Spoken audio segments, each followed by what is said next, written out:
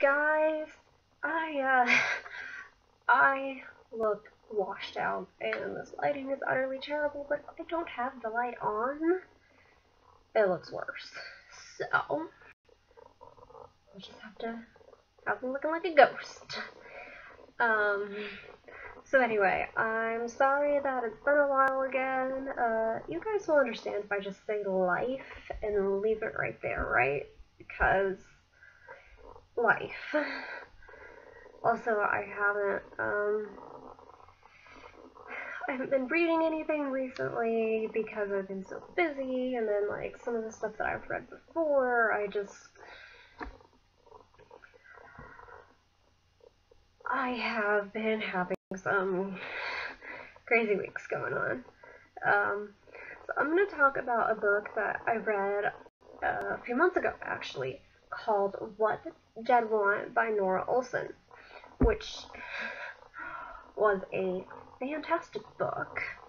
Um, it, it wasn't necessarily what I thought it was going to be, um, but it was it was actually really good because I wasn't really able to like predict the whole thing. Yes, there was some stuff where I'm just like, oh yeah, this is gonna happen, this is how it's gonna end, but I mean, it's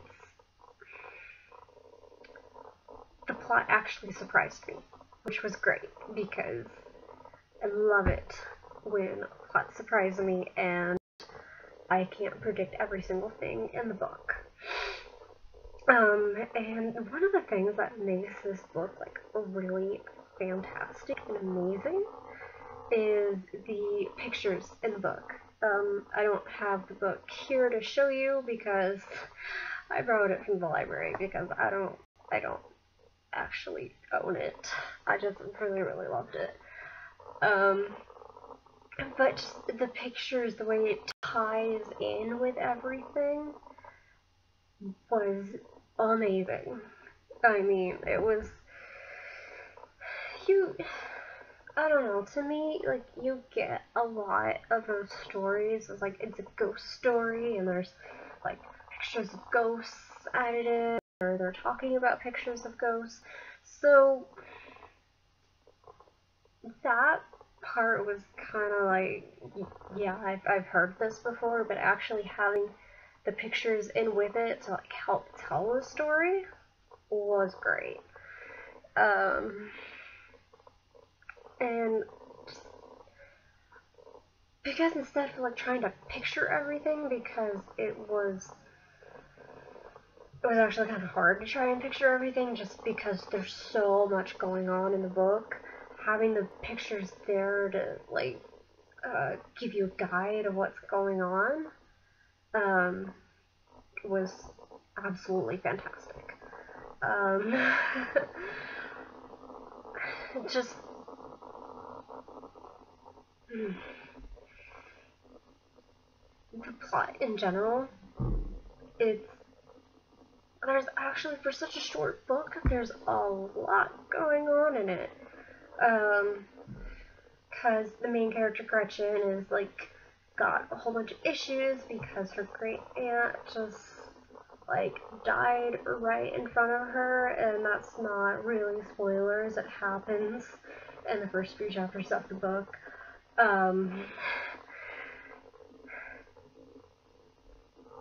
let's see um and then like a friend coming be like hey no you're not gonna stay here you're coming home that really uh, that didn't really surprise me either, just because of what you see in their friendship in the first few chapters in the beginning before she leaves.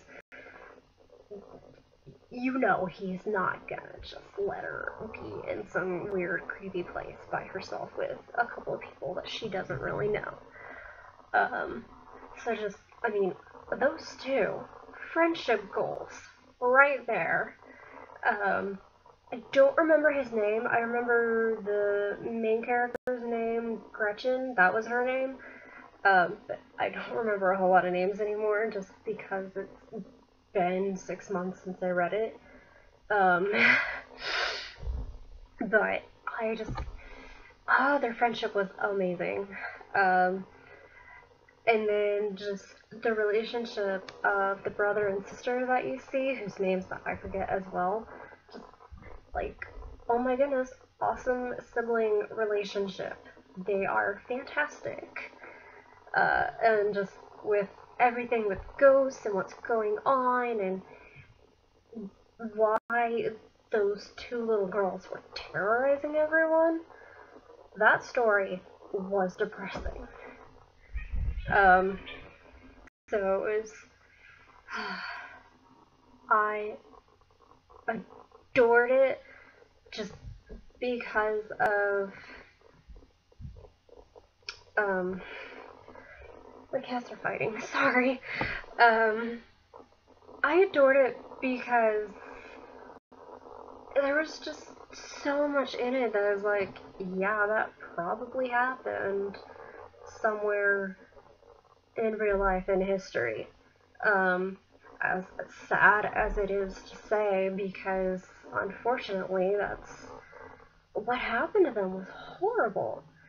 And they didn't understand because they're like four, six years old. I don't know, but they were they were young. Nothing was their fault, but it just they didn't understand, so they couldn't go to rest when they were uh, dead. So it's just it was it was sad. Um, I might have shed a couple of tears. um, but other, I mean, just the way it was written, it was amazing. Um, because it's just some of the storylines kind of wrapped into each other, which is like what you're supposed to do when you're writing a novel and you have like the main plot and then you have some subplots and just whatever. Uh, you know what I'm trying to say, I think. Maybe. Maybe not. But I just I don't really have anything negative to say about it, other than maybe it wasn't long enough for me. I would have loved to read more, but it's it actually ended really well where it did, and just it's fantastic and amazing. Um, and I'm gonna go.